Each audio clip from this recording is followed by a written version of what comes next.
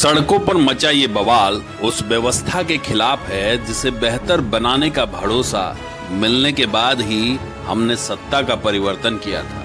लेकिन सत्ता पर काबिज लोगों ने व्यवस्थाओं को बेहतर बनाने की बजाय उसे बदतर होते हालात में छोड़ दिया। अगर ऐसा नहीं होता तो कटिहार के कदवा में पिछले दिनों एक इंजेक्शन ना होने की वजह से एक बच्ची की जान ना जाती, एक पिता की लाडली ना मरती। बीते बुधवार को कटिहार के कदवा में एक बच्ची को सांप ने डस लिया। बच्ची के परिजन उसे लेकर कदवा स्थित सरकारी अस्पताल लेकर गए। लेकिन बदनीयती और बद इंतजामी का आलम देखिए, इस अस्पताल में सांप के जहर से लड़ने वाली महत्वपूर्ण इंजेक्शन उपलब्ध नहीं थी। लिहाजा सांप के डंस की शिकार बच्ची को उसके परिजन कदवा से कटिहार के सदर अस्पताल के लिए निकले। लेकिन रास्ते में ही सांप के जहर ने बच्ची को मौत के आगोश में ले लिया। रेफर कर दिया। अच्छा। जिसमें से सनौली नहीं पहुँचे पेशेंट मर गया। क्या नाम है आपका? हम मनोज मेहता। बच्ची का क्या नाम था? बच्ची का नेहा कुमारी। कितना उम्र था? नौ नौ नौ साल।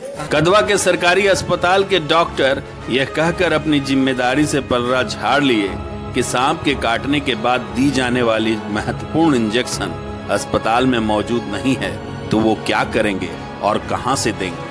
सरकारी अस्पतालों की लापरवाही यहीं खत्म नहीं होती। कटिहार के सदर अस्पताल की स्थिति और भी बदतर साबित हो रही है। सदर अस्पताल में आए एक रोगी डॉक्टरों से मिन्नतें करता रहा कि उसके परिजन का ऑपरेशन कर दिया जाए, पर डॉक्टरों ने उसकी एक ना सुनी। डॉक्टरों को ऐसा कहने की वजह जब आप जानेंगे तो आपको कटिहार के सदर अस्पताल के व्यवस्था पर गुस्सा भी आएगा और हैरानी भी होगी कटिहार के सदर अस्पताल में ऑपरेशन से पहले एक रोगी की पैथोलॉजी जाँच कटिहार के सदर अस्पताल में ही की गई, जिसके बाद उसका जाँच रिपोर्ट भी सरकारी पैथोलॉजी ने रोगी को दिया, जिसे लेकर रोगी के परिजनों ने ऑपरेशन के लिए डॉक्टरों से मिले, पर डॉक्टरों ने ऑपरेशन करने से साफ़ साफ़ मना कर दिया। क्योंकि पैथोलॉजी रिपोर्ट तो बन गई थी, लेकिन उसकी जाँच किस डॉक्टर ने की उसके हस्ताक्षर ही पैथोलॉजी रिपोर्ट में नहीं थे। ये देख हमें भी आश्चर्य हुआ तो पता चला यहाँ तो सब कुछ ऐसे ही चलता है। नतीजन पूरी रात एक पेशेंट सदर अस्पताल के पैथोलॉजी जाँच रिपोर्ट को लेकर अस्पताल के चक्कर काटता रहा लेकिन उसका कोई हल नहीं निकला। फिर हम कोई भी ऑपरेशन करने के लिए तैयार नहीं है क्योंकि पैथोलॉजिस्ट का साइन नहीं है। क्या कारण है साइन नहीं है? क्या कारण नहीं है? ये तो अथॉरिटी का कारण है। जाने ना कि क्यों साइन नहीं करके दे देता है। आए दिन ऐसा होते रहता है क्या? ऐसा दिन सब दिन होता है। मैंने सबसे कहा किसी ने बात नहीं सुना मैंने। किनका साइन होना मैंने डीएस से कहा इसमें पैथोलॉजिस्ट का साइन जो पैथोलॉजिस्ट है सदर में उसका साइन होना चाहिए। सवाल ये है कि बिना पैथोलॉजिस्ट के हस्ताक्षर के कैसे कटिहार के सबसे बड़े सरकारी अस्पताल में जाँच रिपोर्ट बना दी गई?